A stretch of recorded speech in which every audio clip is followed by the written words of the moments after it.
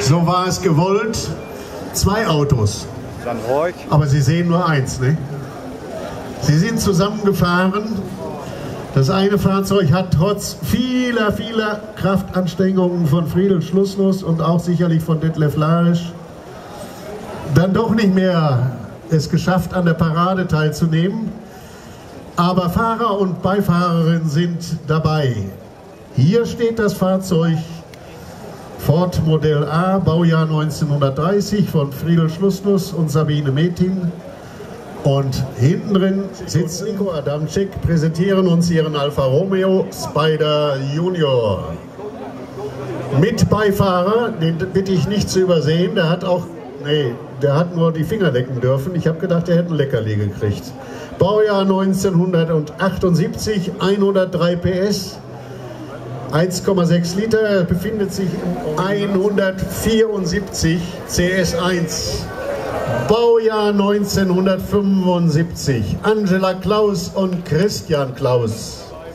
Reimportiert aus Kalifornien seit 2005 im Ruhrgebiet. Teilrestauriert. Die sechste Teilnahme an einer ACV Old, ja, Oldtimer-Veranstaltung. Und damit ich die meisten werden sagen, was steht da vorne dran? Kann doch kein VW sein.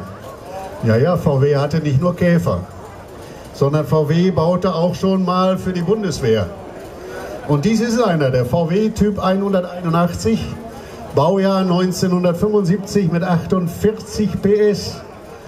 Nur für die Bundeswehr, da hatte er natürlich und hier kommt unser Damenauto, diesmal in recht schmaler Besitzung. Ich kann mich erinnern, da waren schon mal fünf oder vier und fünf drin.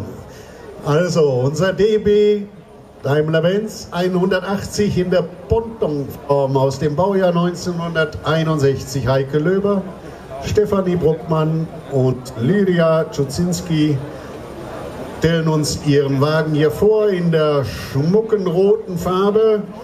Er hat sicherlich der Erstbesitzer uns den BMW 528i aus dem Baujahr 1979.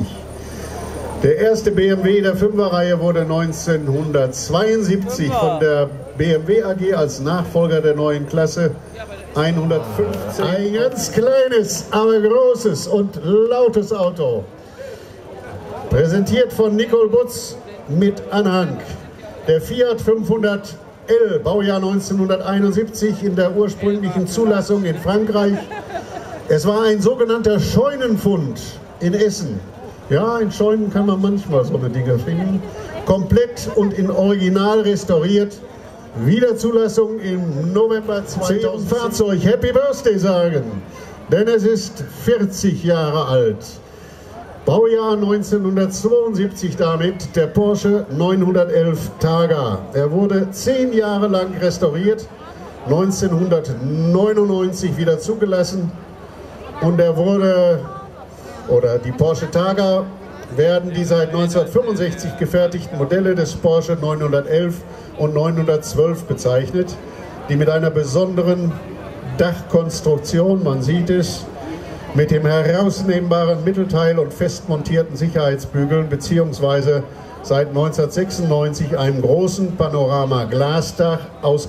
Ja, da haben wir ja...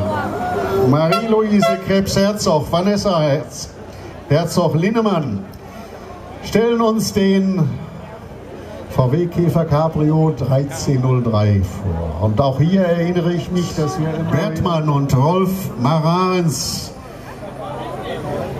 ja, die präsentieren uns hier den Triumph TR3 Groß A, Baujahr 1959.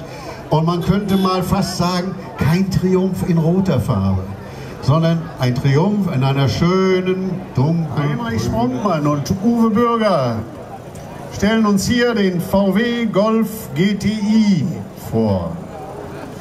Das Fahrzeug wurde letztmalig 2010 restauriert und befindet sich im Originalzustand. Beim Concours d'Elegance der deutschen Landklassik 2011 errang der Golf den dritten Platz in seiner Altersklasse und bei der Lions Rallye 2010 in Essen, glaube ich, ja, wurde dem Fahrzeug der Jurypreis verliehen.